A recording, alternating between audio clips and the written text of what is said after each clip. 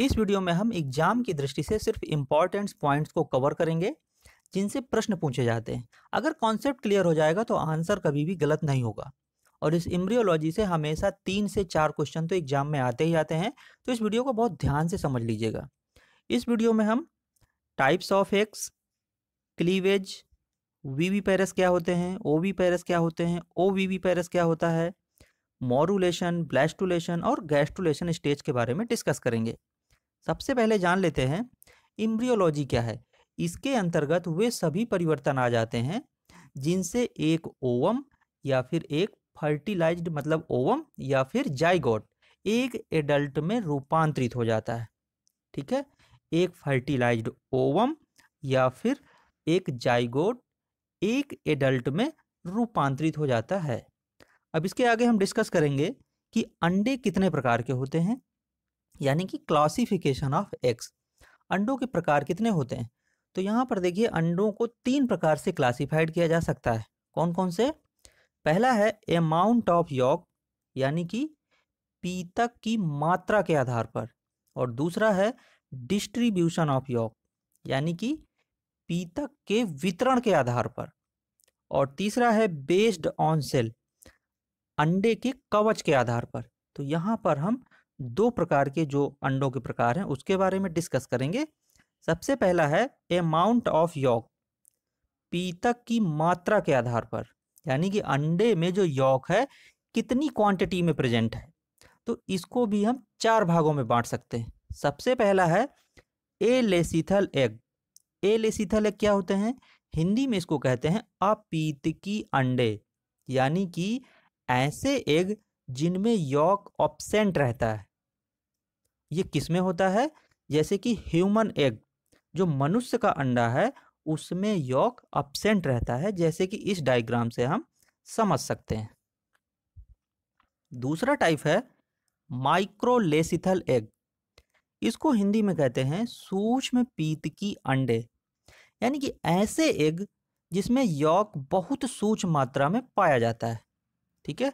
Yolk found in very little quantity और ये किसमें होते हैं? जैसे कि सी अर्चिन हो गया स्टार फ़िश हो गया, इनके जो अंडे होते हैं, वो माइक्रोलेसिथल एग कहलाते हैं। इसके बाद है मीसोलेसिथल एग। इनको कहते हैं मीसोलेसिथल एग को मध्य पीत की अंडे, यानी कि मध्यम मात्रा में, ठीक है? जैसे कि इस डायग्राम से समझिए, ना तो बहुत कम है, ना बहुत ज़्यादा है। मध्यम मात्रा में जो यौक है, वो उपस्थित रहता है ये किसमें होते हैं? जैसे कि एम्फीबियंस हो गए, पेट्रोमाइजन हो गया और लंग्स वाली जो फ़िश हो गई, उनके जो अंडे होते हैं, वो कहलाते हैं मीसोलेसिथल एग। इसके बाद है पॉलीलेसिथल एग, या इसी को कहते हैं माइक्रोलेसिथल एग। तो इसमें क्या होगा कि जो योग की मात्रा होगी, वो बहुत ज़्यादा पाई जाएगी। हिंदी में इसको बोलेंगे अतिपीत की अंडे। यानी कि बहुत ज़्यादा मात्रा में जो है योग पाया जा रहा है। और ये किसमें होता है? जैसे कि रेप्टाइल्स हो गए बर्ड्स हो गए और अंडे देने वाले मैमल्स हो गए। इन, इनके जो अंडे होते हैं, वो पॉलीलेसिथल एग या फिर माइक्रोलेसिथल एग कहलाते हैं। जैसे कि इस डायग्राम में देखिए, ये अतिपीत की है, यानी कि योग की मात्रा बहुत ज़्यादा है। इसके बाद है बेस्ड ऑन डिस्ट्रीब्यूशन ऑफ़ योग अब हम यहाँ पर जो दूसरा प्रकार है, वो है पीतक का जो वितरण है, ठीक है? यौक जो है, डिस्ट्रीब्यूशन के आधार पर हम इसको पढ़ेंगे अब। तो इसका जो पहला टाइप है, वो कहलाएगा आइसोलेसिथल एग, ठीक है? आइसोलेसिथल एग, या इसी को कहते हैं होमोलेसिथल एग। इसमें क्या होगा? अंडे में जो यौक होगा, वो समान रूप से वितरित रहेगा, ठीक है? योग जो है, समान रूप से वितरित रहेगा। तो इसमें जो योग होता है, वो समान रूप से वितरित रहता है। और ये किसमें पाया जाता है? जैसे कि प्रोटोकॉडेट्स हो गए, हर्डमानिया हो गया, ब्रैंकियोस्टोमा हो गया। तो इनके जो अंडे होते हैं, वो कहलाते हैं आइसोलेसिथल एग या होमोलेसिथल एग। इसके बाद है टीलोलेसिथल एग। टीलोलेसिथल एग क्या होते हैं? Yolk is present at one pole ठीक है? ये देखिए। एक पोल पर यॉक प्रेजेंट है। तो इस प्रकार के जो अंडे होते हैं, वो कहलाते हैं टीलोलेसिथल एग।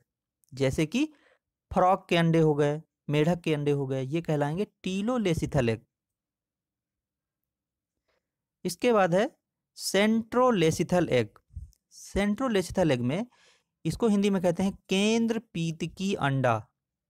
यानी कि यौक जो है, किसमें प्रेजेंट रहेगा? सेंटर में प्रेजेंट रहेगा, मध्य में प्रेजेंट रहेगा। इस डायग्राम से समझिए, सेंटर में प्रेजेंट है। तो इस प्रकार के जो अंडे होते हैं, वो कहलाते हैं सेंट्रोलेसिथल एग। और ये किसमें पाए जाते हैं? ये इंसेक्ट में पाए जाते हैं, जैसे कि कीट के अंडे हो गए, आर्थोपोड्स के अंडे हो गए। तो उनमें ये सेंट्रोलेसिथल एग पाया जाता है और एग्ज़ाम में ये वाला बहुत ज़्यादा पूछा जाता है कि सेंट्रोलेसिथल एग किसमें पाया जाता है? तो ये इंसेक्ट में पाया जाता है।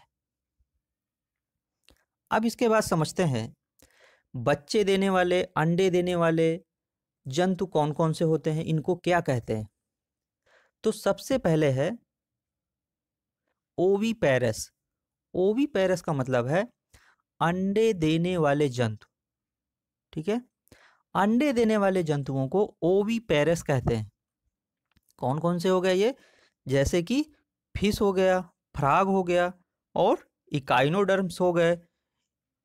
ये कहलाते हैं ओवी पैरस यानी कि अंडे देने वाले जंतु। तो इनको कहेंगे ओवी पैरस जैसे कि इस वाले डायग्राम में देखिए, यहाँ पर ये अंडे देने वाले में ये ओवी पैरस हो गया और अगर बच्चे दे रहे हैं कोई कोई भी एनिमल अगर बच्चा दे रहा है, सीधे डायरेक्ट अंडे के रूप में नहीं तो उसको कहते हैं वीवी पैरस ठीक है? उच्च श्रेणी के जो मैमल्स हो गए, यानी कि मेटाथीरिया और जो यूथीरिया होते हैं, वो क्या करते हैं? जीवित किशोरों को जन्म देते हैं।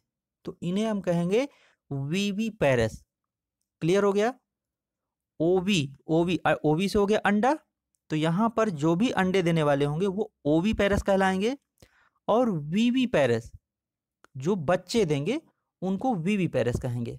अब जो तीसरा टाइप है, उसको बहुत ध्यान से समझ लीजिए। तीसरा टाइप है ओ वीवी पैरस। ओवो वीवी पैरस। ओवो वीवी पैरस में क्या है कि जिन एग में इनक्यूबेशन और हैचिंग माता के शरीर के अंदर ही हो जाता है और यंग का जन्म होता है। परंतु, ठीक है, बट लग गया यहाँ पे। माता के द्वारा उनका पोषण नहीं किया जाता है, ठीक है? माता के द्वारा, यानी फीमेल्स के द्वारा उनका पोषण नहीं किया जाएगा न्यूट्रिशन उनको नहीं दिया जाएगा। तो उनको कहते हैं ओवो वीवी पैरस जैसे कि सार्क हो गया, वाइपर सर्फ हो गए, ये कहलाते हैं ओवो वीवी पैरस इसके बाद अब आता है क्लीवेज। क्लीवेज क्या है? ये भी बहुत इंपॉर्टेंट पॉइंट है। इससे एक क्वेश्चन हमेशा पूछा जाता है।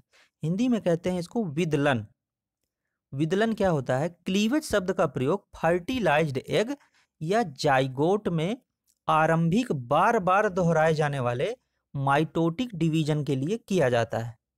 जिसके फलस्वरूप क्या होता है? दो, चार छ आठ, सोलह बत्तीस तथा अधिक डॉटर सेल बन जाती। हैं ठीक है? दो, चार छः आठ, सोलह, बत्तीस, ये सब क्या है? डॉटर सेल बन जाती। जिन्हें क्या कहते हैं? कोरक खंड या फिर ब्लास्टोमियर्स कहते हैं। ठीक है? अब इसके बाद जो ये क्लीवेज होता है, इसके आगे टाइप्स होते हैं। तो उसमें से जो इम्पोर्टेंट टाइप है, वो हम पढ़ते हैं यहाँ पे होलोब्लास्टिक। होलोब्लास्टिक में से जो होमोलेसिथल हो गए, अलेसिथल हो गए और मीसोलेसिथल एग हो गए, उनमें से जाइगोट का तीव्र और पूर्ण विभाजन होता है। तो इसे हम क्या कहते हैं? टोटल या होलोब्लास्टिक क्लीवेज। ठीक है? जाइगोट का तीव्र यानी कि बहुत तेज़ी से और पूर्ण विभाजन हो जाएगा। तो इसको हम कहेंगे टोटल या होलोब्लास्टिक क्लीवेज। अब इसमें से जो हम आगे पढ़ेंगे वो बहुत इंपॉर्टेंट है, जो एग्ज़ाम में पूछा जाता है क्वेश्चन वो होता है अनइक्वल होलोब्लास्टिक क्लीवेज और इक्वल होलोब्लास्टिक क्लीवेज तो इसमें से सबसे पहला है इक्वल होलोब्लास्टिक क्लीवेज इसमें क्या होता है कि जो ब्लास्टोमियर्स है वो लगभग समान होता है। तब यह टोटल लेकिन इक्वल होलोब्लास्टिक क्लीवेज कहलाता है। जैसे इकाइनोडर्म्स हो गए एम्फीऑक्सिस हो गया, प्लेसेंटल मैमल्स हो गए तो इनमें क्या पाया जाएगा? Equal holoblastic cleavage. ठीक है? अब इसके बाद है अनइक्वल होलोब्लास्टिक क्लीवेज। ये क्या होते हैं? यदि ऊपर के चार छोटे, ऊपर के चार छोटे, माइक्रोमियर्स और नीचे के चार योग भरे बृहत खंड या इसी को कहते हैं माइक्रोमियर्स होते हैं। तब इसे हम क्या कहेंगे? टोटल किंतु अनइक्वल होलोब्लास्टिक क्लीवेज जैसे कि एम्फेबियंस हो गया और फ़िश हो गया। तो ये हो गया अनइक्वल होलोब्लास्टिक क्लीवेज और ये क्वेश्चन में पूछा जाता है कि एम्फीबियन में किस प्रकार का क्लीवेज पाया जाता है? तो अनइक्वल होलोब्लास्टिक क्लीवेज पाया जाता है। इसके बाद है मीरोब्लास्टिक मीरोब्लास्टिक का मतलब है कि इसमें पूरा जाइगोट कोशिकाओं में नहीं विभाजित हो पाता है। और इस प्रकार का जो क्लीवेज होता है वो अपूर्ण या फिर आंशिक होता है, जैसे कि अधिकतर मछलियाँ हो गई रेप्टाइल्स हो गए और एवीज हो गए। इनमें क्या होगा? मीरोब्लास्टिक क्लीवेज हिंदी में बोलेंगे अंश भंजी इसके बाद देखते हैं कि जो स्टेजेज होती हैं, इन स्टेजेज में सबसे इंपॉर्टेंट है पहला मोरुलेशन मोरुलेशन क्या होता है? कि जब क्लीवेज के फलस्वरूप 16 या अधिक कोशिकाओं की अवस्था में एक ठोस पिंड बनता है तो इसे हम क्या कहते हैं? मोरुला कहते हैं। और यहाँ पर एक क्वेश्चन देखिए, यहाँ पर एक क्वेश्चन कंप्लीट हो गया। ये आता है क्वेश्चन किस प्रकार से आता है? इस प्रकार से आता है कि उसमें जो क्वेश्चन आता है, उसमें ये पूछा जाता है कि कौन सी ऐसी अवस्था होती है जो एक ठोस पिंड के रूप में बन जाती है? उस अवस्था को क्या कहते हैं? तो उस अवस्था को मोरुलेशन यानी कि मोरुला कहते हैं। इसके बाद है ब्लास्टुलेशन ब्लास्टुलेशन में क्या होता है? कोशिका भाजन चलते रहने से कोशिका पिंड के अंदर एक गुहा बन जाती है जो खोखली गेंद या फिर गोला बनाती है, जिसे ब्लैस्टुला कहते हैं, ठीक है? तो मोरुला हो गई क्या? ठोस गेंद। और ब्लैस्टुला हो गई खोखली गेंद, ठीक है? तो इसको ब्लैस्टुला कहते हैं।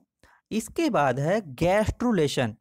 गैस्ट्रुलेशन में क्या होता है कि इनवेजिनेशन की वृद्धि के साथ साथ ब्लास्टोसील क्रमशः कम होती जाती है अब एक नई गैस्ट्रोसील बन जाती है। इस प्रकार से मोनोप्लास्टिक जो ब्लास्टुला है, वो डिप्लोब्लास्टिक इम्ब्रियो या गैस्ट्रुला में बदल जाता है। तो इसको क्या कहते हैं? गैस्ट्रुलेशन या गैस्ट्रुला कहते हैं। इसके बाद देखिए, सबसे इंपॉर्टेंट है अंग विकास, यानी कि ऑर्गेनोजिनेसिस। इसमें क्या होता है कि एक्टोडर्म, एंडोडर्म और मीसोडर्म तीन जर्मिनल लेयर कहलाते हैं। और फिर आगे ये चल कर के टिश्यूज और आर्गेन्स का निर्माण करते हैं। तो इस प्रकार से ये स्टेज लगातार चलती रहती है और इन्हीं स्टेजों के द्वारा फिर एक जो इम्ब्रियो होता है उसका डेवलपमेंट आगे बढ़ करके एडल्ट के रूप में हो जाता है। तो फ्रेंड्स, बायोलॉजी की नेक्स्ट वीडियो को प्राप्त करने के लिए चैनल को सब्सक्राइब कर लीजिए, वीडियो को लाइक और शेयर कीजिए।